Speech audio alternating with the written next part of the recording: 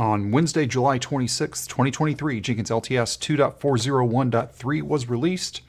In this video, we're going to be talking about all the things that happened in that release. My name is Darin Pope. I'm a developer advocate for CloudBees. And along with me today, I have Mark Waite, who is a member of the Jenkins board. Mark, how you doing? Great, Darin. Here we are at the end of another cycle. We are. It's, it's the dot three, and it's turned out to be a good release. It turns out to be a very short release as we'll see in just a few moments, I believe. okay, uh, not a lot to describe. That's not good. a lot to describe, which is good, which is what we want for the last of the next release. Mm-hmm. So, but if people haven't been here with us before, hi, by the way, thanks for hanging out with us for a few minutes today. Uh, and if they're not, uh, what's the word I'm looking for? Not familiar with what the Jenkins LTS process is. Uh, why don't you go ahead and explain weeklies, LTSs, and, and do all that normal thing? Sure. So Jenkins releases a new version every week. It's intentional. We release like clockwork. Every Tuesday, in general, we'll release a new weekly.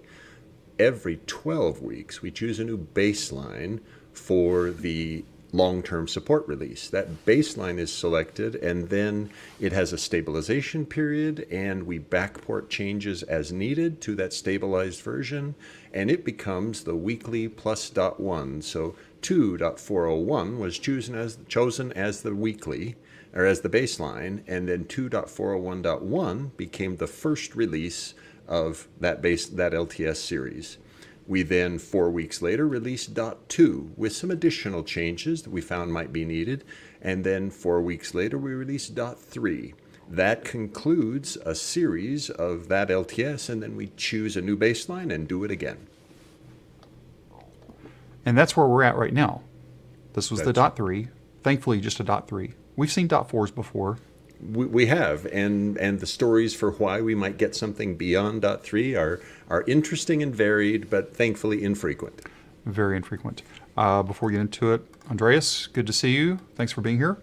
Ray, hello, to Thailand because I'm not in Thailand. Mark isn't either. Thanks for being here, Ray.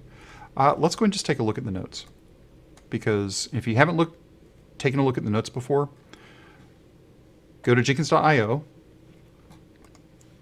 upper right hand corner, download, or depending on how your layout is, in my case it's upper right hand corner. And then we're picking the changelog under stable.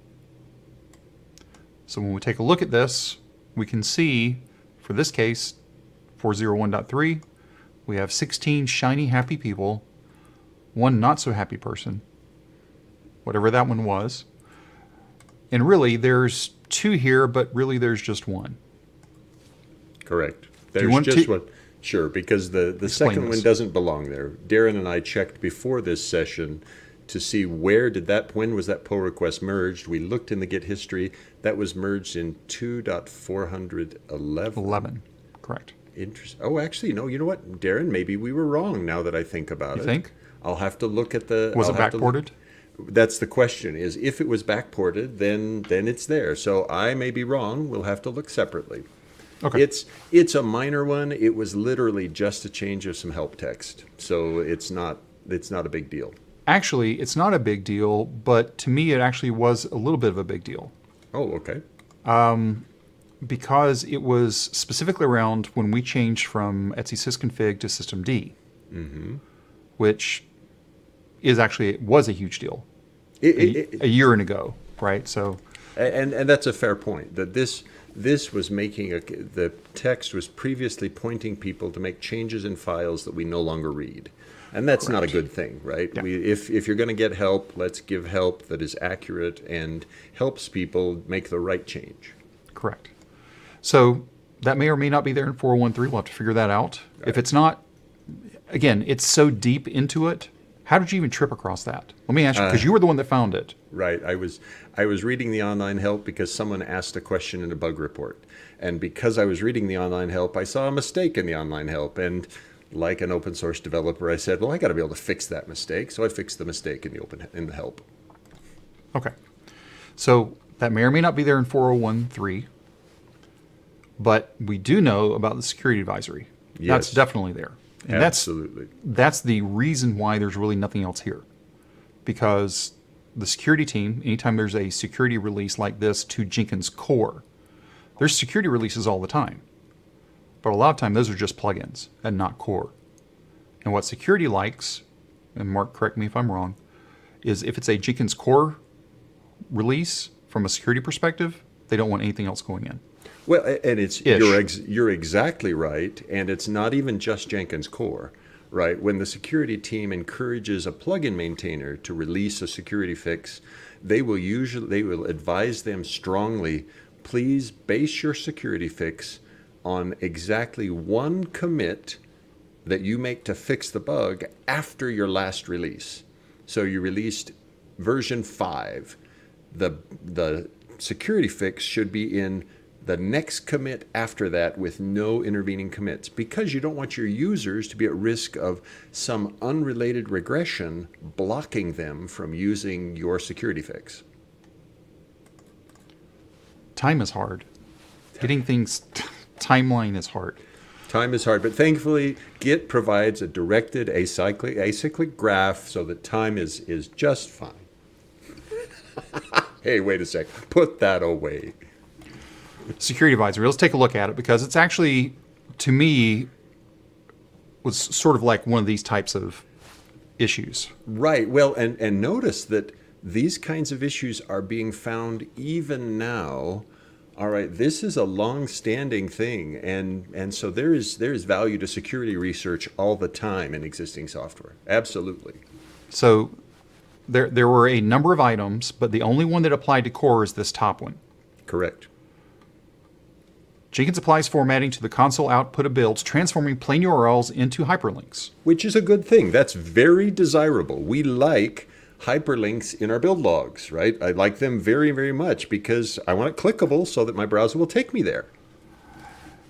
But prior to now, it doesn't sanitize or correctly or properly encode the URL. How many years? Right, exactly. this and and this is one where hey, we've liked having embedded URLs and they're very helpful and that lets my build job output plain text the the URL and then it becomes clickable for the user who's reading the log. Very very helpful and yet cross-site scripting vulnerability. Yep. And then there were a handful of other plugins. Were there any? So there were a few. Actually, let's let's go to the bottom because if you've never taken a look at a security advisory, since we do have a minute, because this is really the only thing that's there. And Michi, I see your questions, and we'll, get to it there in just a second. Uh, if we go down to the bottom, there's always a severity block and affected versions, the fixes, but then there's always, not always, many times, there's also as of publication, there are no fixes for the following plugins because reasons. Well, well, and and there's a hyperlink there that tells you the reasons. I love the reasons. Ah. It's because the security team is confident that people should know about a problem even if it's not fixed.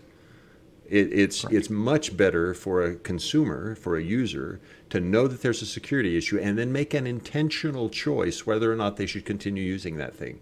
If we hide the vulnerability or fail to disclose it, there's a, there's a real risk that someone will be surprised then oh there was this vulnerability you, you knew you didn't tell me i could have removed that plugin and been safe from that vulnerability So, a handful of uh, plugins, one to core. I think that's the first core security we've had in a while. it, it has been several months yeah it's been multiple months since the last time we did a core security release Okay. And look, that's it. Let's let's go over and answer answer Meech's question real quick. Um, correct me if I'm wrong. Does Jenkins' next baseline version include all the fixes, improvements, etc., from the weekly releases from the previous baseline version? And, and the answer is yes. Yes. So, so for example, 2.414.1 will include everything that was in 2.414 plus several backports. Now, in this example, in today's example, 2.414 has the security vulnerability. So you can be confident that the security vulnerability fix will be backported to 2.414.1. So that's something from 416 that will be backported. So yes, everything in 414 and before is in the baseline. And then we add some additional things like backports of security fixes to be sure that 414.1 will be nice and stable. And probably your help fix as well. Yeah, probably. Well, the, the help Depending on fix where it dropped. definitely. The help, help fix definitely because it Oh, was it was in in 4, 11. 2.411. Right. Correct. Okay. Uh, Mitch, I hope that answered your question. Yep, got it. You are quite welcome. Uh, anything else, Mark? Again, this is a nice quiet one, which is what we expect, especially on a security release. Right. Uh, four weeks from now, we have 2.414. This is going to be another one, 2.4141. And the That's next one will be 2.4142. Correct. So the third one will mess everything up. Um, there's one feature coming in that that I have not been able to break my m- muscle memory on yet. And we'll talk is? about it. I'm not going to say. I'm going to Oh, save it. okay. See you, see you in four weeks is a good answer. See you in four nice weeks. teaser for four weeks. Okay, Yeah, good. All right. It's it's it's not hard, Uh-huh. but it is. uh, How, how I can explain it to the point of when things move around, I don't like that very much. Right, right, and, and that is you. You described muscle memory. You really Yes. did. the The phrase muscle memory really hints at we remember where things are placed, and their location on the screen is a is a thing. Good. So we'll we'll see and see how much uh, wailing and gnashing of teeth will happen after that release. Four weeks. So that's going to be August Twenty third. 23rd. Thank you. Right. Uh, at that point, I'll be a little bit older, so that's good. I'm actually older anyway, but it doesn't matter. Happy, all will be. Happy birthday on your uh, getting older. Well, That's was that that was last week, so Ah, you know, okay. I'll be old. now. I won't get into it all. Anyway, that doesn't matter to anybody else. So thanks for being here with us live today. Again, we'll be back in four weeks. Mark, thank you. You have a meeting to go to, so have fun at your next meeting. I get to go trim this up for YouTube so people don't see the five minute countdown at the front. All right. But anyway, Thanks, do all, do all the YouTube things, give us a thumbs up, and have a great rest of your day.